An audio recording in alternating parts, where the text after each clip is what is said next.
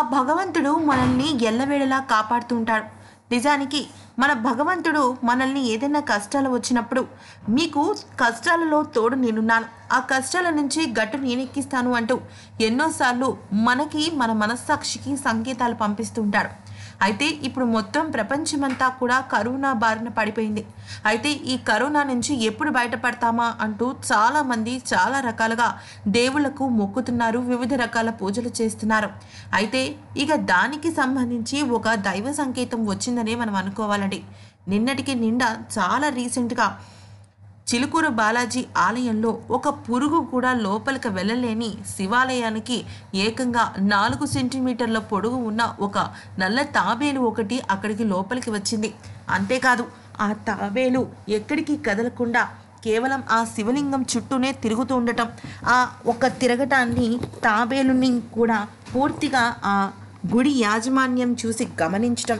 ఇవన్నీ కూడా మనం చూసాము అయితే దీనికి సంబంధించి ఆ గుడి యొక్క ప్రధాన అర్చకులు రంగరాజన్ కూడా ఇది దైవ సంకేతంగా చెప్పారు. ఇక అదే సమయంలో అదే సమయంలో ఒరిస్సాలోని భోలేశ్వర్ అనే గ్రామంలో వరి పొలం నుంచి అది కూడా అమ్మవారి గుడి దగ్గర ఉన్న ఒక వరి పొలం నుంచి పసుపు రంగు తాబేలు బయటకు వచ్చింది. అయితే ఆ బయటకు వచ్చిన తాబేలును చూసి అందరూ సాక్షాత్తు ఆ శ్రీ జగన్నాథుడే మనకి ఈ సంకేతం పంపించారని అంటున్నాడు. నిజానికి పసుపు రంగు తాబేలుని మనం అసలు చాలా అరుదుగా చూస్తుంటాం.